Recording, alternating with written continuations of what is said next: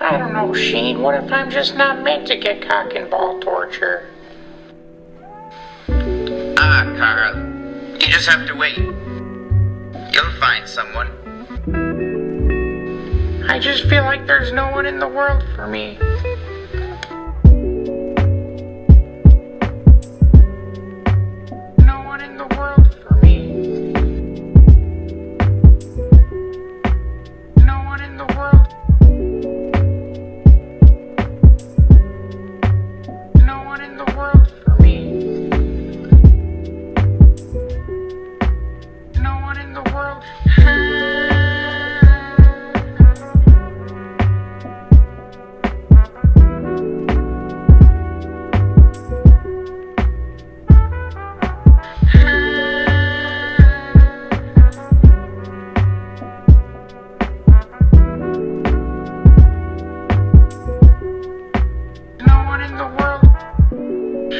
I've ever felt is let down.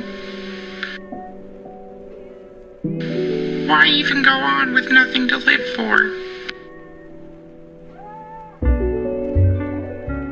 Carl, there's plenty of things to live for. You've got your friends, your family. Isn't that enough? No. No